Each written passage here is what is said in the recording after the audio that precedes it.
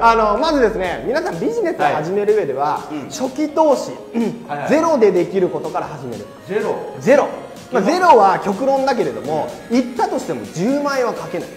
これ一番重要だと思う。いける？うん。いやいけるいける、はい。例えばあの、まあ、いろんな人の話を聞いてる中でやっぱりうまくいってるやつってお金が必要としない。の、うんうん。実は。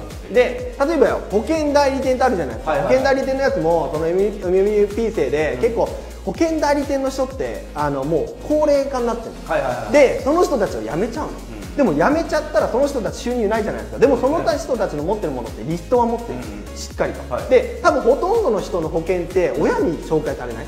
ああそうかな。そう。親に結構紹介されて保険に入ったりとか車も親の車の同じところの。車とか、はいはいはい。そういうふうに保険ってなんかなんだかんだそのファミリービジネスみたいになってんだよ。でそういうふうに考えると、はい。そのもう引退しちゃう人のリストを引き継いで、これあの俺が管理するんでじゃあここから30%はもう別で振り込みますよ、はいみたいな契約にすれば、そしたらその人たちはもう高齢化で辞めてもお金は入ってくる。なおかつこの人たちは一番リストを作るのが一番大変だから保険っていうのは。そこがな。資産みたいなもんそうそうそうそうそう。だからそこを無料でもらえたら動きやすいじゃん。それを3人ぐらいにやったら3倍のリストが手に入って、むむしろ下にね誰か雇った人もそのまま1個の会社にできるよね。こういうものをできたりとかあとはカフェをやりたいという人。はい。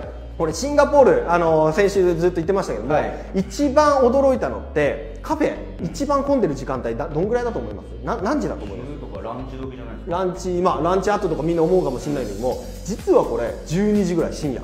夜？夜の12時。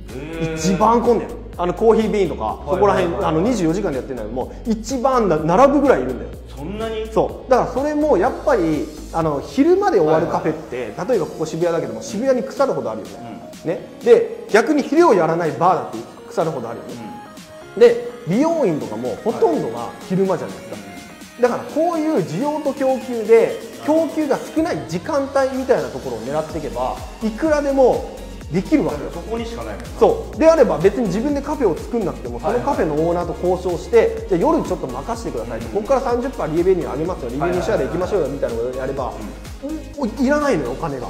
近所の中目黒のなんかカフェ結構いっぱい入ってるよ。そう。あ俺あのあれでしょ。い一緒に行く多分とこそこいいどこ？ちゃんと言って。わからん。あのすき焼きのあの下の。あそうそうそうそう。そうそうそうめっちゃ混んでんだよ。俺らいつもこのライブとかが終わるとそこで夜までやってるから行くんですよ。だからそういう同じような心理だと思うよね。なるほどね。はいはい。あんまり最近ってお酒を飲む人はいなくなってから夜中にそうそうそうカフェラテとかね竹花公式で本チャンネル、インスタ、TikTok でも毎日豆知識配信。